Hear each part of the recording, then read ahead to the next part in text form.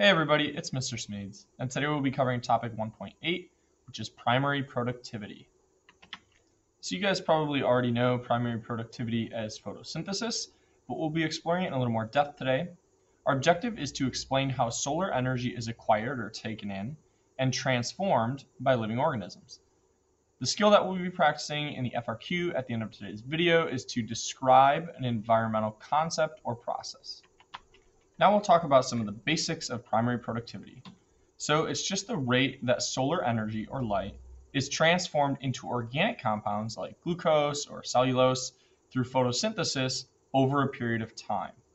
So we'll take a look at the units here that we use to measure primary productivity, and they're going to be kilocalories per meter squared per year.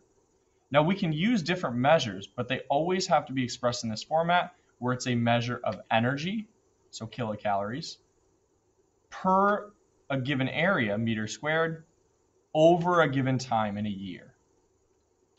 So we can also think of this as the rate of photosynthesis of all the producers in a given area over a period of time. So we can kind of use the analogy of plants as workers. So think of all the workers in a factory and how many gadgets they produce over a given period of time. That would be the productivity of the factory. What we also want to do is think of this as the rate of plant growth. Since photosynthesis translates into plant growth, areas that have higher productivity are going to have higher plant growth. This is just an easier way to kind of grasp what productivity actually looks like in an ecosystem. Then there's also a couple trends that we want to understand. So the higher the primary productivity in a given area, the higher the plant growth, which means that there is going to be more food and shelter available for animals, which means there will be higher biodiversity. So this is a really important trend. It's one we'll talk about more than once in this video, and that's that ecosystems with high primary productivity are going to have a higher diversity of species they can support, and therefore we would consider them to be more biodiverse. Now we'll take a look at how to actually calculate primary productivity. So the first thing we have to remember is that plants use up some of the energy that they harness from the sun for cellular respiration. So this goes to things like fueling their movement or the internal transportation that they do. So just like humans use up energy for digestion, tissue repair, things like that. So think of respiration loss as the amount of energy that plants use just to keep themselves running. Or you can think of it as the taxes that are taken out of the plant's paycheck. Then we have gross primary productivity. This is going to be the total amount of sunlight that the plants capture and convert into energy. Or think of it as the total photosynthetic rate.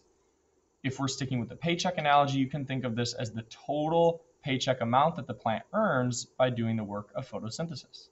And then finally, we have net primary productivity. Net primary productivity is going to be the amount of energy that the plant is able to actually store as biomass, meaning the amount of plant growth that takes place. This is what's left over for consumers like animals that need to eat the plants after the plants have used up the energy that they require for cellular respiration. Think of this as the take home pay, the actual amount of money that the plant gets to take home and put in the bank account after taxes are taken out. We have a simple equation for this. It's NPP equals GPP minus respiration loss. So we'll do some practice with these equations in a later video.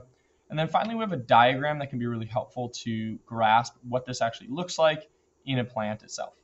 So we have the total amount of sunlight that goes into the plant and is converted into energy is gross primary productivity. But then we have respiration loss. So remember, this is the energy used up by the plant for its basic processes that it needs to do to stay alive. And then finally, what's left over is net primary productivity, and that is the energy that's left after respiration. So this is energy that can be stored as sugars in the plant's fruit or in growth in its biomass. So trees adding bark to the outside of their trunks or trees that add extra leaves or the leaves grow bigger all of that represents net primary productivity or the actual energy that the plant's able to store after it uses what it needs for cellular respiration. So now we'll talk about a concept called ecological efficiency. So this is the portion of incoming sunlight that's actually captured by plants and then converted into biomass. So in other words, net primary productivity or food that's available to consumers. So in most ecosystems, only about 1% of the sunlight that enters the ecosystem is actually captured by the plant and used for photosynthesis or gross primary productivity. The rest of it, so about 99%, is either reflected back off the surface of the plant or just passes right through the leaf without being captured. Of this 1%, only about 40% or 0.4% of the total incoming sunlight is converted into biomass, or in other words, net primary productivity. However, some ecosystems are more productive than others. This could be due to the fact that they get more sunlight coming in, or their plants are able to do more photosynthesis, or they're actually more efficient than other ecosystems. And finally, we'll wrap up here by looking at some trends in productivity. So remember this important trend that the more productive an ecosystem is, the higher its biodiversity. That's because there's a wider variety of plants and more of them to support a wider variety of animals. So what I want you to do is try to predict the highest productivity biome in terms of both aquatic and terrestrial, and the lowest productivity biome in terms of both aquatic and terrestrial. So take a look at this chart now here and see how you did. Instead of just memorizing though which biomes are most productive or which are least productive, or trying to remember which biomes are the most biodiverse or least biodiverse, I want us to pay attention to a couple important factors that determine productivity. So focus on this trend here. The more water available in a biome, the higher the temperature is in the biome, and the more nutrient availability in the biome are all factors that contribute to high net primary productivity. So take a look here at the graph and we can see that swamps and marshes and tropical rainforest are going to be very highly productive biomes. They're going to have high access to water, they're going to have relatively warm temperatures that can support growth year round, and they're also going to have high nutrient availability. Think about swamps and marshes, which have tons and tons of organic matter in the bottom of their bodies of water, lots of nutrient availability. The coral reef ecosystem follows this trend as well. It's very warm, so it can support growth year round. There's an abundance of water, and there's a lot of nutrients from the organic matter that is a part of the reef. On the other hand, we can look at examples of biomes that have low productivity, and we can see that they have deficiencies in at least one of these three factors. So first we can look at the desert. The desert is going to have a deficiency of water, and it's also going to have a deficiency of nutrients because the soil is extremely sandy, which doesn't hold a lot of nutrients. Then we look at the tundra. The tundra is extremely cold, and so the tundra is going to have a very low temperature that can't support plant growth year round.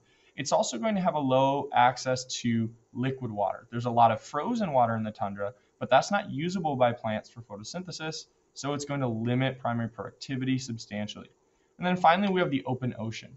Now, the ocean in most parts of the world is going to be warm enough to support plant growth. It's also going to have an abundance of water, but it has a huge deficiency of nutrients. So there's not a lot of organic matter in the open ocean to be used by producers. And so the open ocean is going to have very low primary productivity.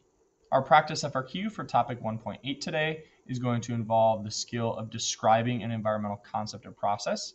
So first I want you to try to describe the process of net primary productivity, and then I want you to describe the relationship between primary productivity and biodiversity. All right, everybody. Thanks for tuning in today. Don't forget to like this video if it was helpful, subscribe for future APES video updates, and check out other notes over here to the side. And as always, think like a mountain, write like a scholar.